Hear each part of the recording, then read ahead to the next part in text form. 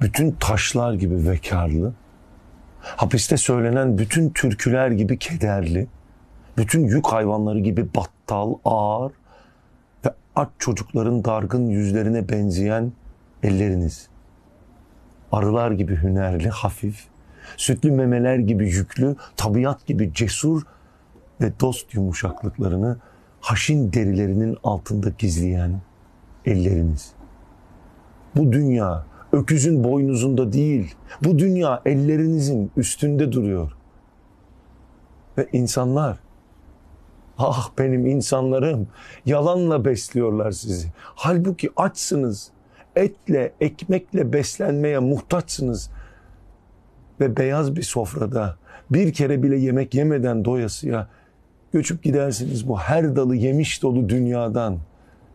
İnsanlar, ah benim insanlarım, hele Asya'dakiler, Afrika'dakiler, Yakın Doğu, Orta Doğu, Pasifik adaları ve benim memleketlilerim. Yani bütün insanların yüzde yetmişinden çoğu elleriniz gibi ihtiyar ve dalgınsınız. Elleriniz gibi meraklı, hayran ve gençsiniz. İnsanlarım, ah benim insanlarım, Avrupalım, Amerikalım benim. Uyanık, atak ve unutkansın ellerin gibi, ellerin gibi tez kandırılır, kolay atlatılırsın.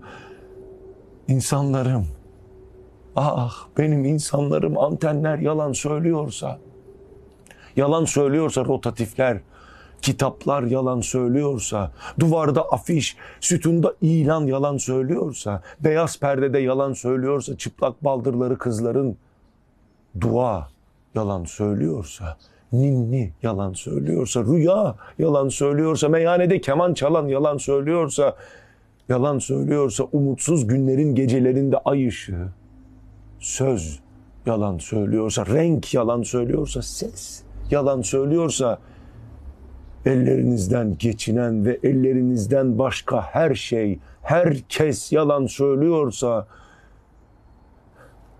elleriniz balçık gibi itaatli, elleriniz karanlık gibi kör, elleriniz çoban köpekleri gibi aptal olsun, elleriniz isyan etmesin diyedir. Ve zaten bu kadar az misafir kaldığımız bu ölümlü, bu yaşanası dünyada bu bezirgan saltanatı, bu zulüm bitmesin diyedir.